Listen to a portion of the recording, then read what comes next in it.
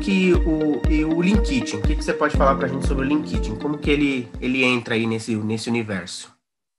O Kitchen é um, um termo que está mais recente ainda do que o, o Quintil, né? E ele vem muito da questão do fabril, da fábrica. Então, o Lean, que já vem do Lean Manufacturing, já é um conceito muito bem estabelecido na indústria. Ele vem principalmente o Lean Manufacturing, e aí a gente pega os conceitos do Lean Manufacturing para trazer para o Lean Kitchen, ele vem do sistema Toyota, né? Um, um, sistema de alta produtividade da Toyota. Então, a Toyota ela eh, criou um, um, sistema que tem esses, esses benefícios, né? De otimização de processos e aumento da produtividade.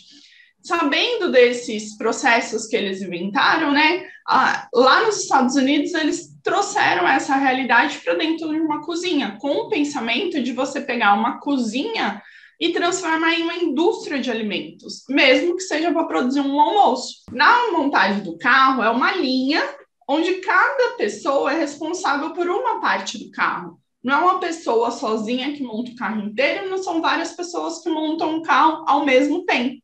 O carro vai passando por uma linha e cada pessoa é responsável por uma parte, no final o carro sai pronto. Então, é pegar esse conceito e aplicar na cozinha. Teve um cliente com uma implantação nesse ano que ele tinha uma questão de é, servir. Ele serviu o almoço ali, o buffet por quilo, né? E junto com o almoço ele vendia marmitex.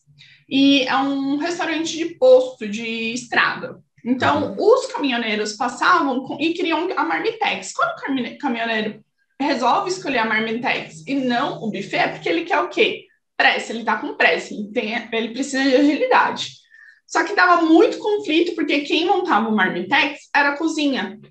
Então, ia esse pedido de Marmitex para a cozinha, só que a cozinha estava envolvida ali na reposição do buffet, no controle, né?